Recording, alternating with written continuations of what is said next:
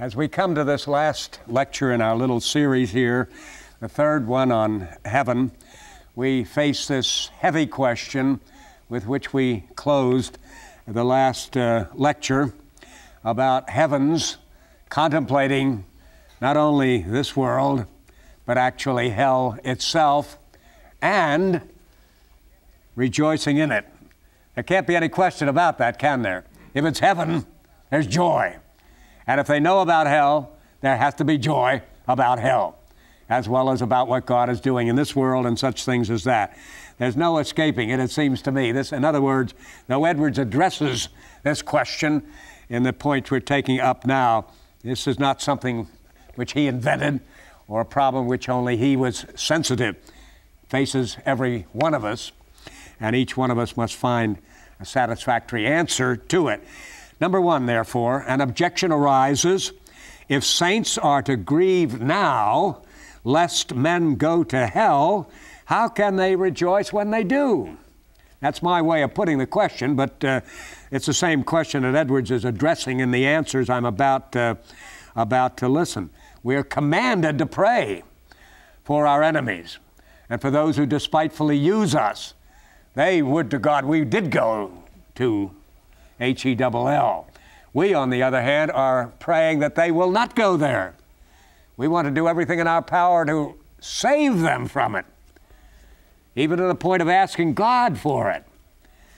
Praying that they not go to hell, and then they go to hell and we're to rejoice in it. How can that be? Was the question. Edwards gives five answers in one of his sermons to this particular point. First of all, it is a Christian's duty now to love even the wicked, not knowing but that they may be loved of God. In hell, they are seen to be hated of God, and so are hated by the saints. See, he's adding really two points there. He's saying that we are commanded by Scripture to love our enemies. And these enemies are described as persons who are hellish people because they aren't legitimate enemies. These are enemies who say all manner of evil against you falsely, use you despitefully. These aren't difference between Democrats and Republicans and so on. These are people who are enemies to God as well as to you, and they're enemies to you because you're living righteously, and they're saying all manner of evil against you falsely. You are commanded to reward, to rejoice and be exceeding glad in that situation there. But uh, Edwards adds, in addition to that fact, that you are commanded to pray for people no matter how, how hellish their behavior may be, no matter how depraved their relationship to you may be. You don't approve of such behavior, but at the same time that you may even rebuke it, you love the person, you do good to him, and you pray for his being rescued from the perdition which is certainly to follow if he does not repent of his ways. And I may say, you can tell him that sort of thing without being unloving. As a matter of fact, the loving thing may be to do that. Don't you know that when you actually say these things slanderously and scandalously about me, you're only adding stars to my crown, but you're adding and heaping up wrath against your own judgment. I appreciate what you're doing for me, but I hate what you're doing for yourself. You know, I, am uh, talking about it uh, hypothetically, but when Justin Martyr, for example, so called because he was an early church martyr, when the Romans were going to put him to death as a Christian, he begged them, for their sakes, not to do it. He almost begged them for his sake, please put that sword through me. He was honored. He knew it was a great privilege to die for Jesus Christ, but he honestly begged them for their own sakes. And so we would do the same thing with respect to these uh, persons.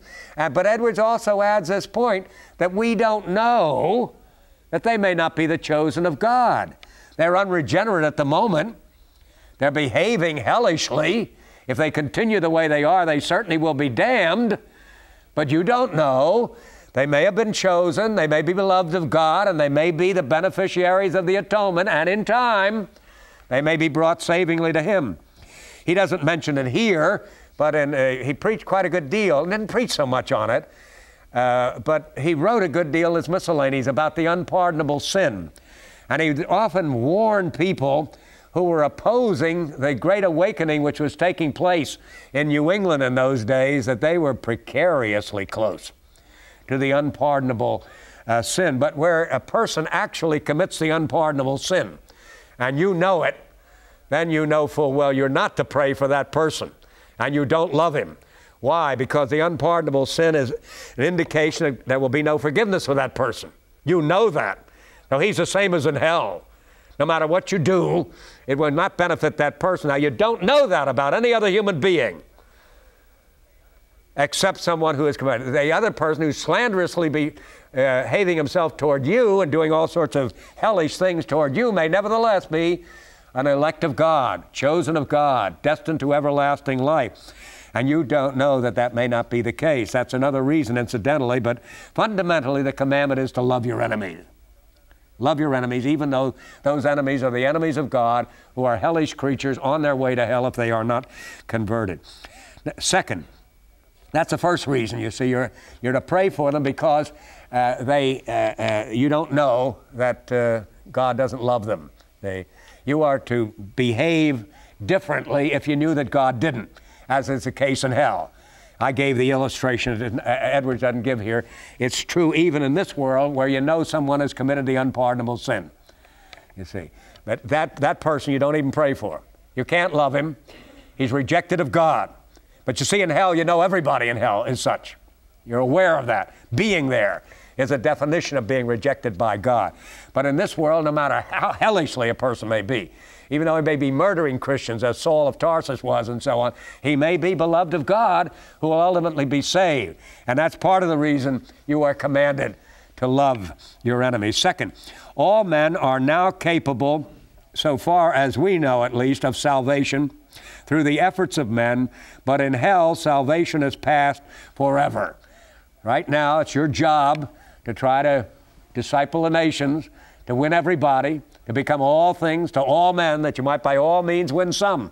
That is actually uh, your duty. But in hell, salvation is past. You have no such obligation as that at all. The greatest love you can ever show anybody is to try to win that person to Jesus Christ.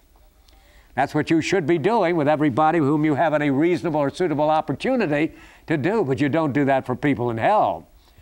They are beyond redemption. The situation. Remember, we're wrestling with a problem. How can you be commanded to love and do good to people who, when they go to hell, you rejoice in their damnation? You try to save them from damnation, but when they go to damnation, you're happy about it. How can that be? Well, Edwards is pointing out the reason you do it is God commands you, and the reason He does it is they may be beloved, and you know there's a possibility as far as you or the other person, unless that person committed the unpardonable sin if it's being saved. But in hell, the situation is entirely different. No such possibility as that exists.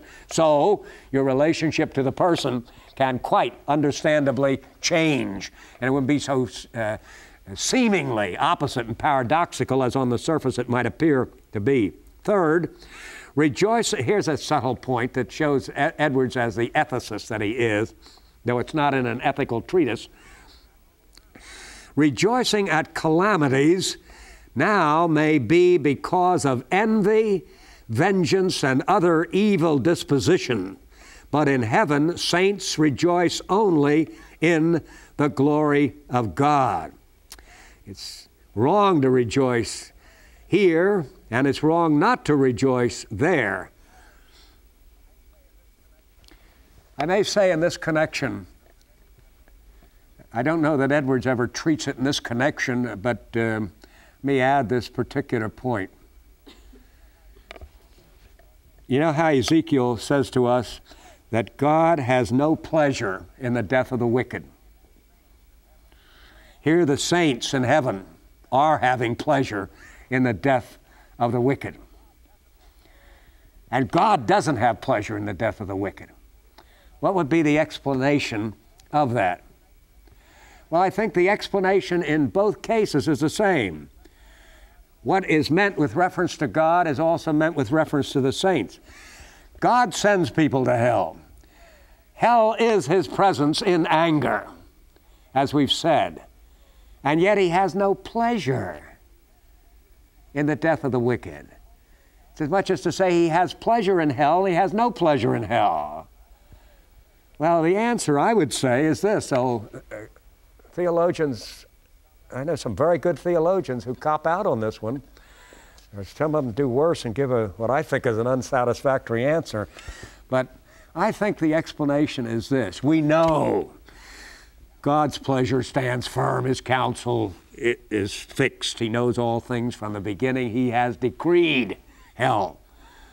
Hell burns forever because God has determined it and only because God has determined it. He has pleasure in all His works. He has pleasure in heaven and He has pleasure in hell. Then, what is the meaning of this, his own statement? He has no pleasure in the death of the wicked. Well, what it must mean, it seems to me, is this He doesn't get any pleasure in tormenting people. He's not a cosmic sadist of some sort. What he gets pleasure in is manifesting his holiness, his justice, his righteousness, his power, his wrath. The whole purpose of the existence of anything is the manifestation of the glory of God. He gets no pleasure in the death of the wicked. Death as such is no pleasure to him. It's death as the punishment deserved that's a pleasure to him. Now, what Edwards is saying in this particular context, apropos our problem, is that in this life, because of total sin in the unregenerate and a great deal of remaining sin in the regenerate, we can actually out of a spirit of envy and vengeance, which doesn't belong to us, but to God, have pleasure in the death of the wicked. And that's a sin. We are not to have it. In hell, it's a different story. In hell, we see that everybody, no matter how indescribably horrible a suffering may be, we recognize it's deserved. Every iota of it is deserved. Anything more would be a sin, anything less would be a sin. This is precisely what ought to happen to them. And we have to know that now.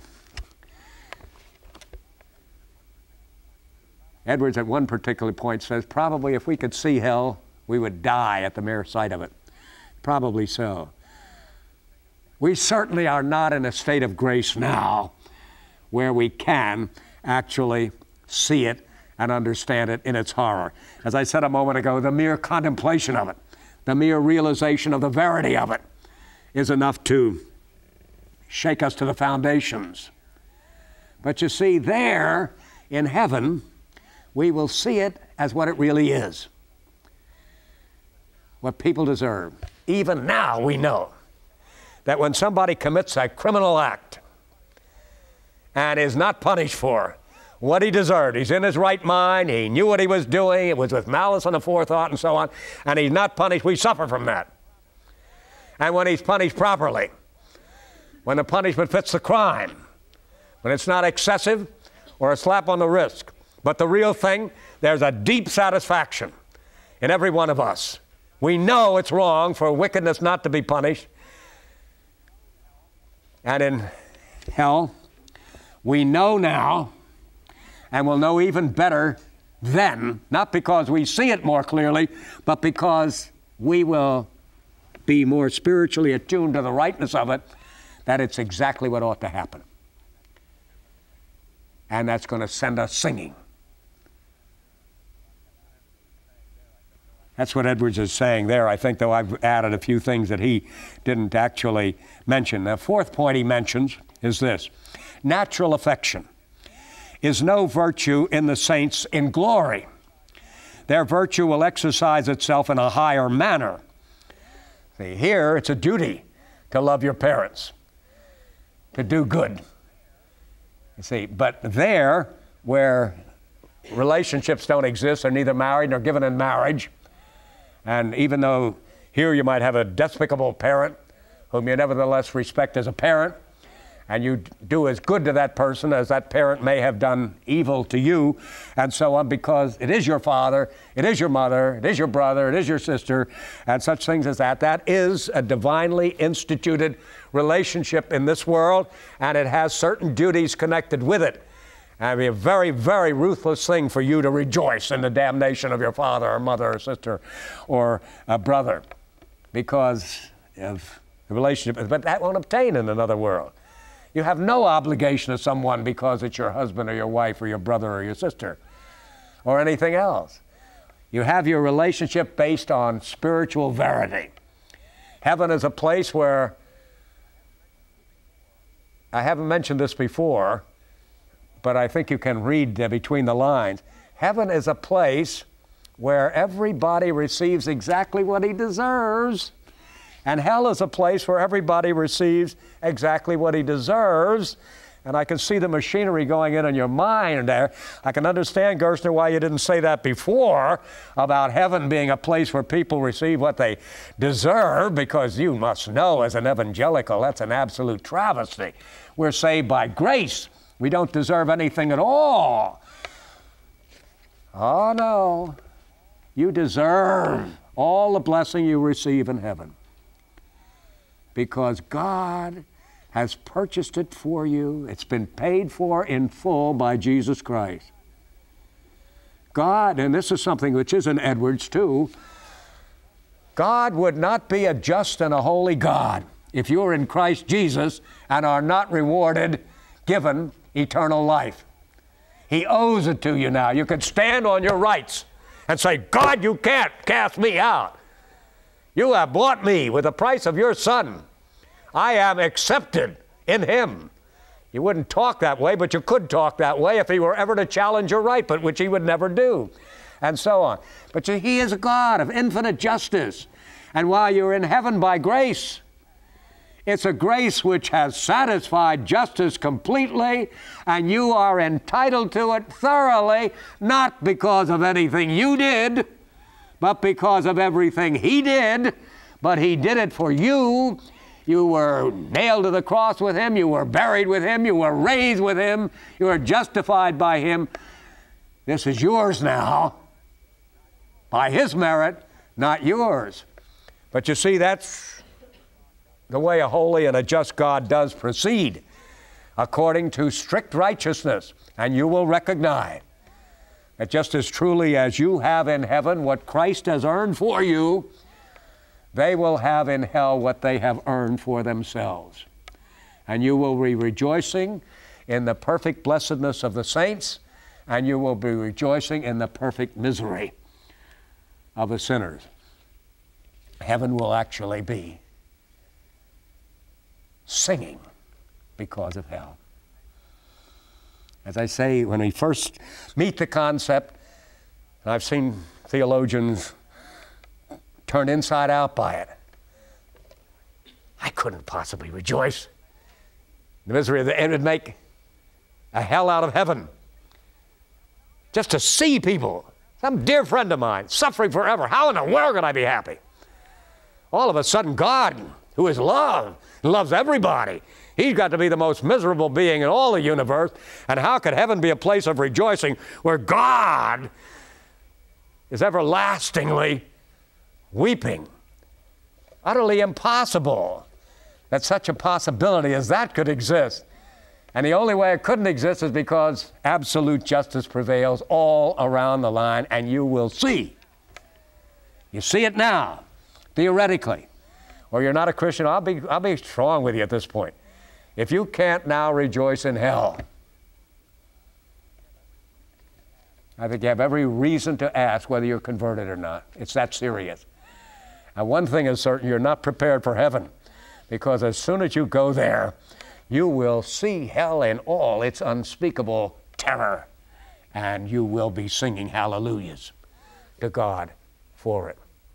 But the reason will be not immorality, not sadism, not cruelty, but love and justice and purity and rejoicing in the excellencies of God. So, what looks at first as an awesome problem is, a matter of fact, a marvelous means of grace. The last point he mentions here is fifth, when God takes vengeance on oppressors, it is always because of his love to his saints. So in hell, this infinite love for his own will be eternally visible in the punishment of their wicked enemies, whom they may have loved in the world. See, that's the ultimate turning of the screw. There wouldn't be a hell if it weren't for you. The only reason it exists is to give joy to heaven by the revelation of God's full character as a holy, just, powerful, sovereign God. Number three, that the eternity of the future state of happiness or misery spoken of in Scripture is a proper eternity, absolutely excluding any end, is most clearly manifest in Luke 20, 36 and other uh, places. It talks about the death of, no more death in heaven and so on. It reminds you of John Owen's famous statement, the death of death. Now, on the other hand, see, there's nothing but death in hell and there'd be no death at all in heaven. Here's a, one of his sermons, Edwards wrestles with that question How can there be eternal death?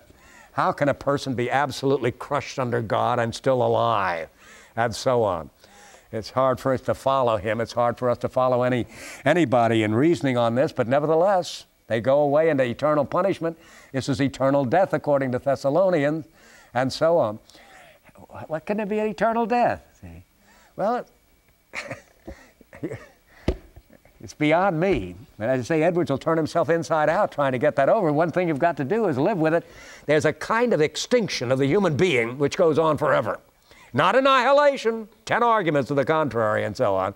Not annihilation, but a state like death. Yeah, I remember in one of his analyses, he talks about a, well, this isn't sinners in the hands of an angry God, but about a, a, a, a spider or some animal or worm being dropped into a fire, putting up a fight against the flames at first, and then being overcome and just shriveling up.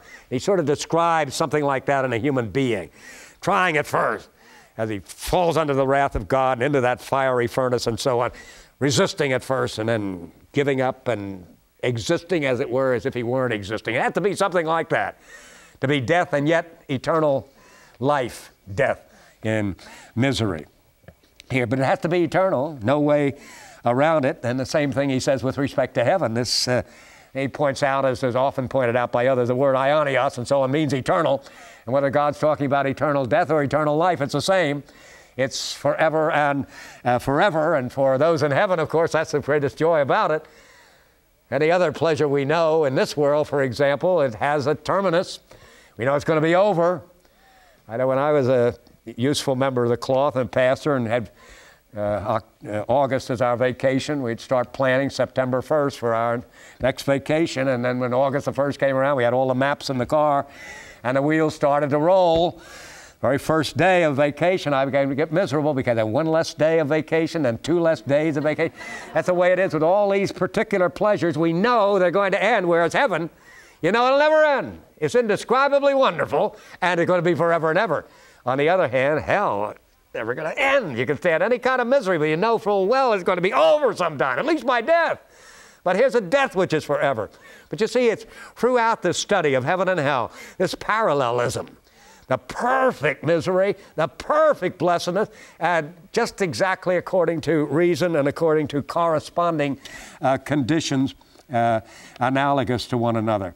Number four, many more texts are cited to prove the same point, with the main emphasis on the eternality of heaven, proven by the last enemy, death, being conquered. Number five, not only is heaven eternal, but also the heavenly inhabitants do, as it were, remain in eternal youth. They're growing all the time, but they're not growing older. I see some of you people who are half my age smiling at that and so on, so you can imagine nobody like me uh, here, but that, we all know that witticism of Bernard Shaw, youth is such a wonderful thing, it's a shame to waste it on young people. Now, here, here's a youth which won't be wasted on young people. I mean, the young people won't be, uh, they won't be youthful. The young people won't be stupid, wasting all that virility and life and power that they have. They'll be Here they will be as young as they could be, young be, and yet they'll be as wise as the aged could be. That's the kind of situation in heaven. You're everlastingly growing, wiser, better,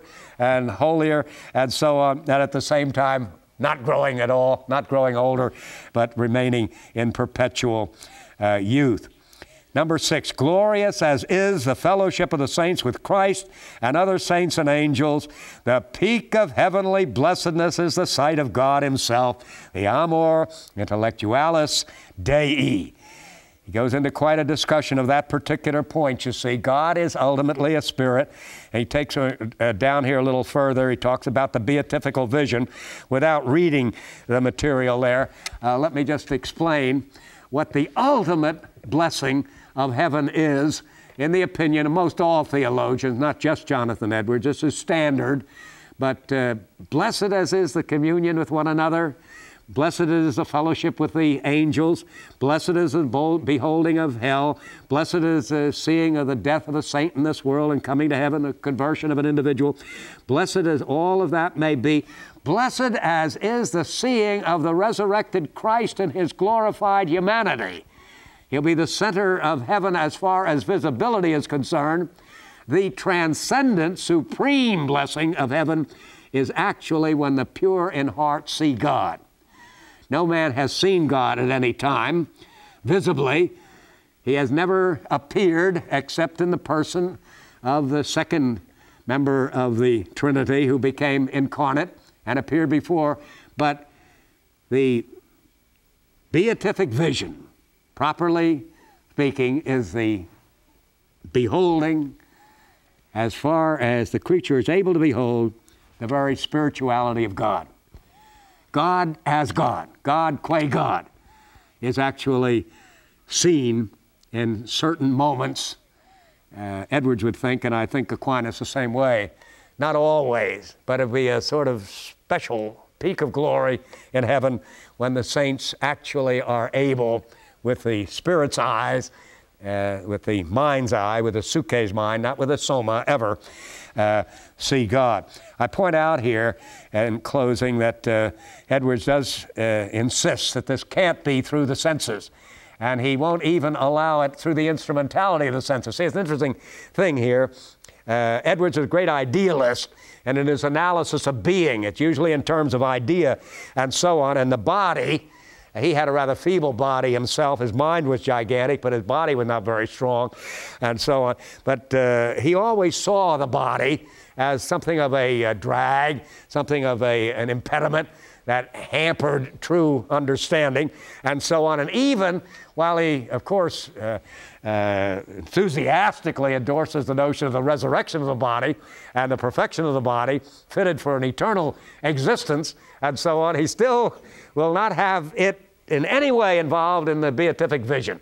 See, normally you'd think since we would be in heaven, we would be incarnated in this perfect body, fitted to our perfect soul for a perfect and eternal existence, that uh, the knowing process would go on somewhat the way it is now, through the body, to the mind, and so on, even to the beatific vision. But not for Edwards. The mind, the body can't have anything to do with it. This is a direct vision of soul with soul, mind with mind, spirit with spirit, redeemed creature with God as God. Since my time is uh, nearly up here, let me read number nine, and uh, that I hope you've got written at the bottom number 10, a new number 10. Hence the grand conclusion.